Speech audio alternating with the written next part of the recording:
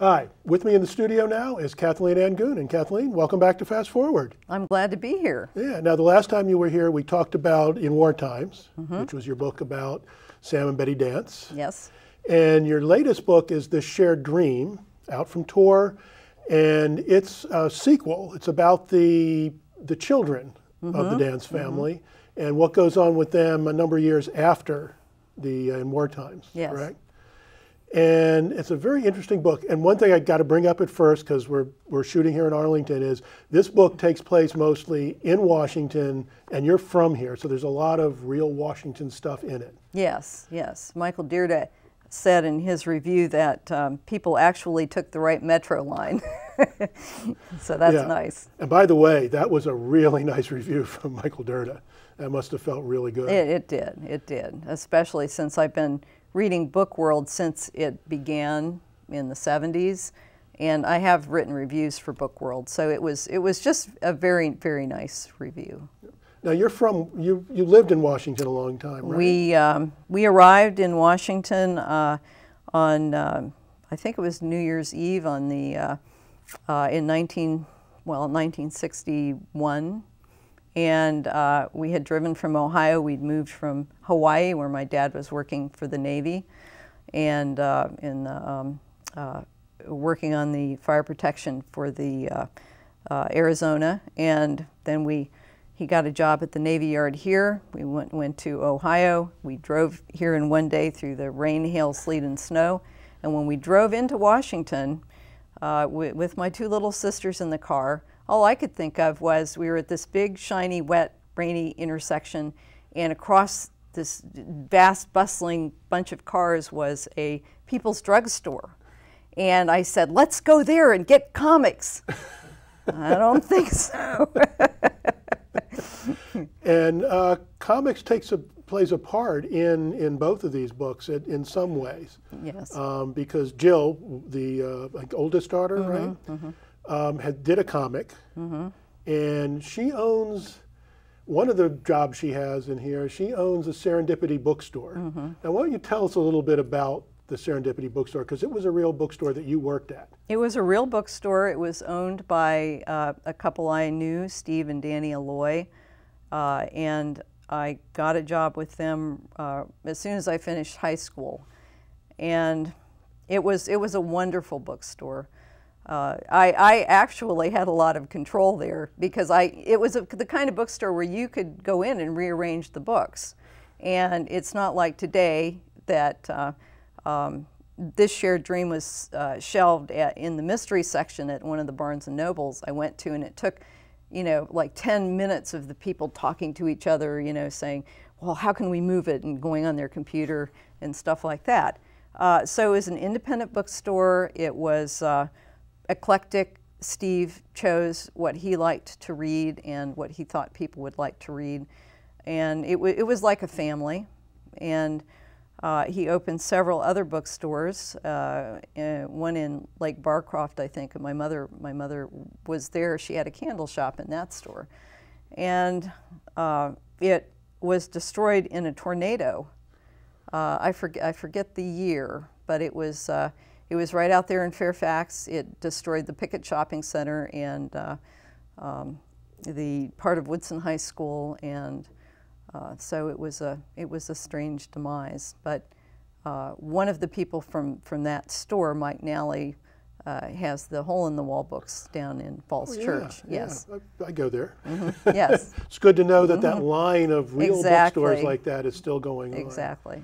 And and and it really plays a nice part in in uh, in the book, yes. um, particularly near the end when there's a poetry reading going on. Now, those poems that were in the book, supposedly written by the mother of one of the, the characters that's mm-hmm. in both of the mm-hmm. books, um, and they're they're about uh, losing people mm-hmm. and.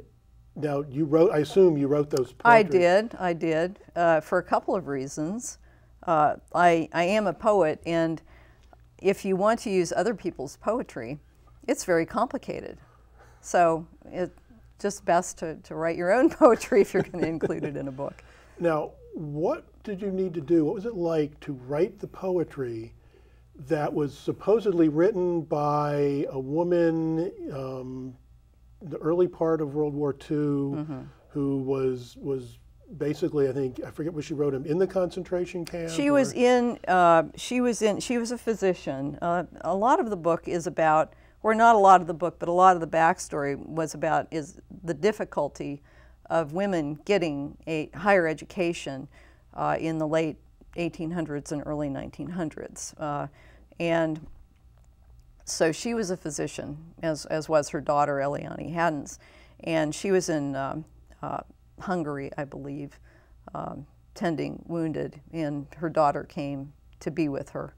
Um, and I think the father by then had been lost. The grandmother lived in uh, uh, in Russia, and so there was all this death and devastation, and that, that's really the one of the cores of the novel is is the the history of the 20th century is so devastating, so violent, so uh, so intense. So this this was her reaction to it, and uh, I do write from the point of view of my characters. So it was just like I, I was her, you know, seeing what was going on and in, in writing these poems. Yeah.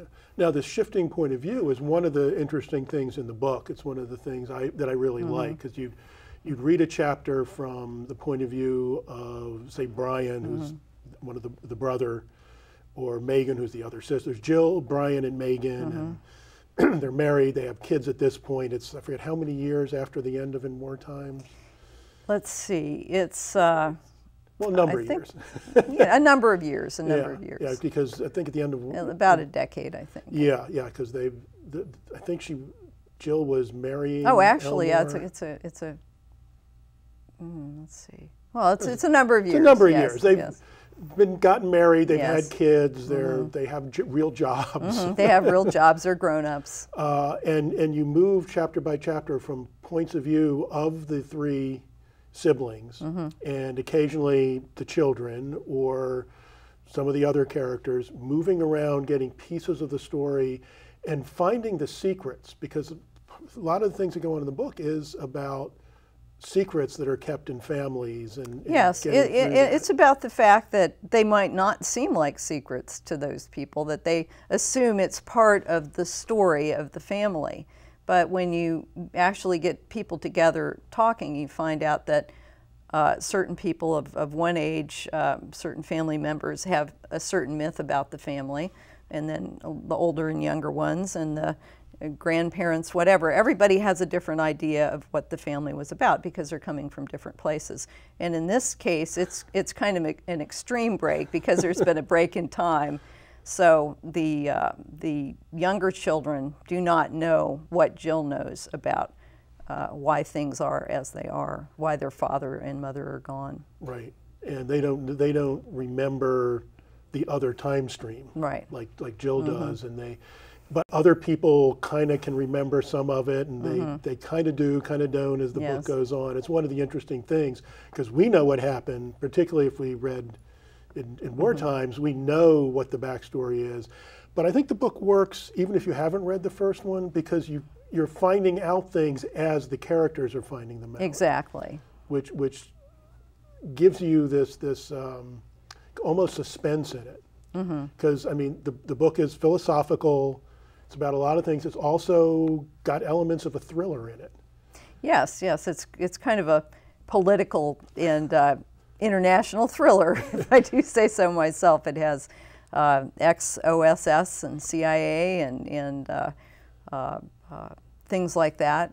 Yeah, all kinds of all kinds of thrillery things going Yes. on, particularly near the end. But you mentioned education, and that's you know that doesn't often go with a thriller, but education is a key part of this book and what education means and how education at the right time with children can can change them. I gave a talk a few years ago in Crystal City to a, uh, a Pentagon-based group uh, as part of a uh, uh, an organization I belong to called Sigma, and they they're like a think tank. And uh, so I, I put in my idea about the subject, which was uh, how to prevent terrorism, uh, anti-terrorism, futuristic anti-terrorism uh, weapons. And my premise was that our best weapon against terrorism is, is universal education. And in that way, we can begin to communicate with one another. I think that the people there were not, uh, it, it, was, it was different because we had a lot of invisibility cloaking and things like that. But I went to the Montessori Institute in Washington, D.C. It used to be down on S Street. Now it's a part of Loyola University in Maryland. And uh, my diploma was signed by Mario Montessori, Maria Montessori's son. And it was very interesting because I was not convinced of the efficacy of Montessori when I first went. I was very skeptical. I was doing it mainly so that I could write. I had a degree in English, and I thought, well, how am I going to make a living? I thought I can have my own school, I can do something good. But as time went on, I realized that Montessori, being a scientist, a physician, the first uh, woman to get a, uh, a doctor degree in Italy in 1896, big speaker at the first International Women's Conference in Berlin, made international headlines with the things she said about equal uh, pay for equal work for women. And uh, I just became very interested in what is now uh, a field that is just speeding along because we have functional MRI now, which I suspect is crude compared to what we will have in the future, but now we can we have another lens on how we learn. And uh, that's, that's just my firm belief, that my firm liberal belief that uh, education is good. and, and in this book, education is kind of moved in a sense to another level by one of the science fictional elements in the book, which is the device which showed up in, you know, was built in in war times and has gone even further in this book and is now part of what you call Q. Mm-hmm. Now, why don't you talk a little bit about what Q is? It's to me, it was kind of like taking the cell phone and smartphones and making them even smarter, and to where they're almost self-aware? Yes, it's it's Q is almost self-aware in that it is part of all of us internationally, and in particular because the children have brains that are just developing. It can affect them more than the adults, really, because of the plasticity of their brains. And so they take to it like I teach at Georgia Tech, and my students are very comfortable with manipulating all kinds of technologies. It's second nature to them. And every time I come across a new operating system or a way of doing something that I've always done, but I have to learn a new way, it's like, eh. so in this sense, it's easier for the children to use Q and to communicate using Q than it, than it is for the adults. And they are the next generation that is going, that in which the potential is going to begin to be realized.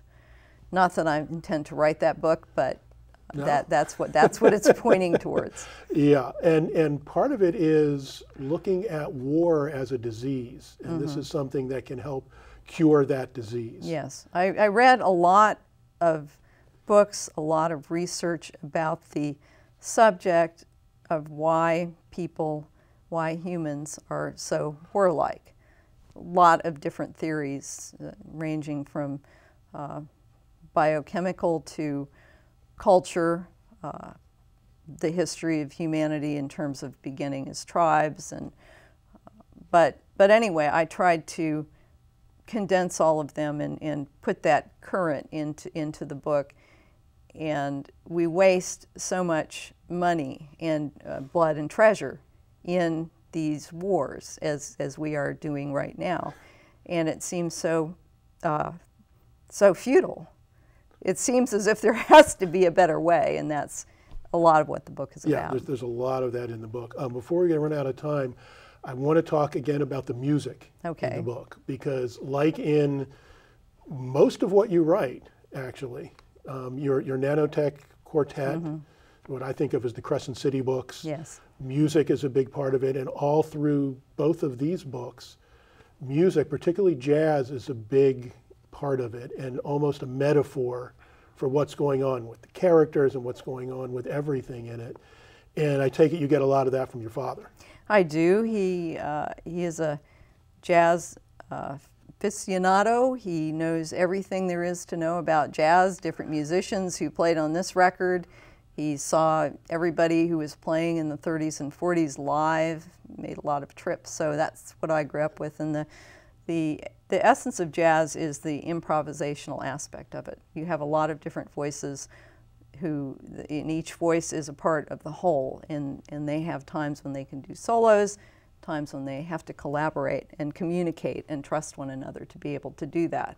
And that's uh, a big part of, of my all of my books, that aspect of Right. who we are. Right, and and you see that in the relationships between, you know, Jill and Brian and Megan. They're almost in the book doing an improvisational jazz routine with solos and, Yes. and needing to learn to trust and, and work together Mm-hmm. and all that. So it's it's a really good metaphor for, for a lot of stuff. In Yes, it. it is.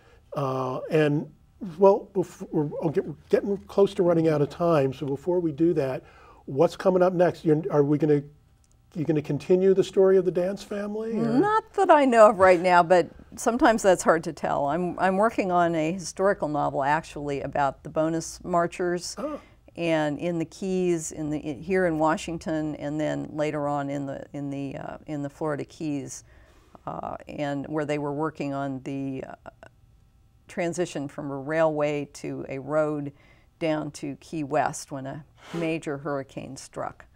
So uh, that that's what I'm working on now. But one never knows. Uh, since I turned that in, I started working full time at Georgia Tech as a visiting professor, and I teach creative writing and science fiction and science technology and ideology. So I, ha- I haven't been writing. I've arranged to teach only in the fall, uh, so that I will have time to also write. It's fun, but writing is my heart. Yeah, yeah. And and we love to read your writing. Thank you. Well, we are out of time, uh, and I'm. That's that's too bad. There's so much more to talk about about your stuff. Thank you very much for, for coming on the show. Well, we thank you, appreciate Mike. taking time out it's of a busy always weekend. it's always great to be on this show. And uh, we'll look forward to the next thing coming. And I hope everyone gets to read uh, this shared dream. Okay. Well, that's it for this episode of Fast Forward. So from all of us here, this is Mike Zipser saying, take care.